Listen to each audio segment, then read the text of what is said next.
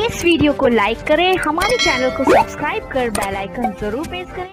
News master Mohammad Rahim की report, घरकुल सरकारी योजना का फ़ायदा उठाए। फरीदा आफ्ताब पिंजारी व नसीम सलीम खाटी को नगर पालिका भुसावल के माध्यम से पंत प्रधान आवास योजना का लाभ।